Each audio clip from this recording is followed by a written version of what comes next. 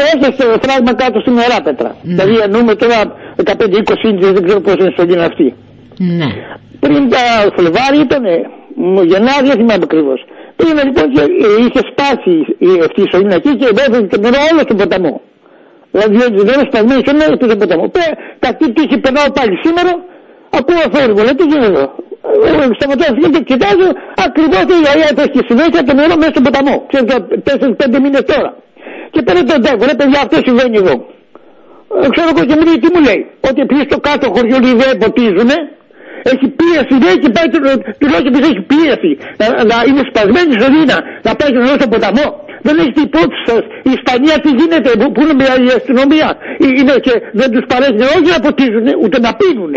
Και έρχεται τώρα μου απο- λέει για μένα ότι επειδή δεν ποτίζει στο κάτω χωριό, πρέπει το νερό να πηγαίνει στο ποταμό. Έχει σπασμένη σωλήνα κύριε Τσαγκάλη. Δεν είναι ότι είναι...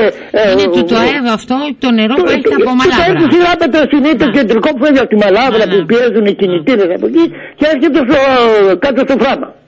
Και χάνεται το νερό, πηγαίνει στον ποταμό και ένα ζαγκάκι, εδώ το βλέπουμε το πρόβλημά μας. Ναι. Η Ανατολική Κρήτη θα διψάσει και στην ΟΕΦ αυτή από εκεί να πηγαίνει που θέλει. Μα ποιος το λέει αυτό το πράγμα; Ναι.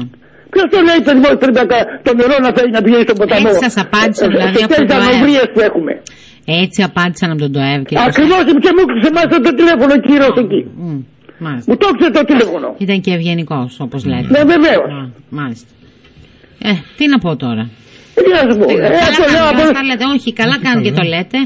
Για να έρθουν να βρουν λύση. Τι πάνε να πει; Δημοσιοποιείται, έτσι, ώστε- Πέντε με τέσσερις μήνες είναι τώρα αυτό το πράγμα. Δεν είναι Τέσσερις τέσσερις. μήνες τρέχει το νερό Δεν- σε ε, ξεροπόταμο. τρέχει- τρέ- Ο τρέχει όταν πιέζει ο κινητήρες. Από τη μαλαγρό τα ξέρω να δεν είμαι Ναι, άσχετος. ναι, ναι. Και του λέω να μειώσετε τους κινητήρες. Ναι. Αφού υπάρχει τόσο μεγάλη πίεση και δεν του κάνει το κουμάντο. Αλλά πέρα από αυτό αυτή δεν είναι δικαιολογία. Ναι. Ότι πρέπει να βγαίνει στον ποταμό. Διότι έχει πίεση και δεν τον παίρνουν στο κάτω χωριό το νερό. Δεν το κατάλαβα αυτό το πράγμα. Ναι. Το- α- Ας πάνε στο καμπούσι να δώσουν νερό που περισσεύει που δεν έχουν οι άνθρωποι νερό Δεν καθόλου. έχουν να ποτίσουν εκεί, υπάρχει Ναι, θέμα. δεν έχουν και δεν το ξέρετε, το γνωρίζετε. Για διάφορους λόγους. Δεν με πειράζει με αυτό το θέμα. Αλλά θέλω να πω ότι ε, διψάνε οι άνθρωποι και δεν τους δίνουν νερό και πρέπει να πηγαίνουν στον ποταμό δηλαδή. Αφού είναι έτσι πρακτικά το βλέπουν. Μάλιστα. Εντάξει. Έγινε γνωστό, κύριε Κωστάκη. Ευχαριστούμε. Να είστε καλά, να είστε καλά, παιδί. Ευχαριστώ και Καλημέρα, εγώ. καλημέρα. Γεια σας. Καλημέρα, παιδιά. Γεια Γεια, σας. γεια.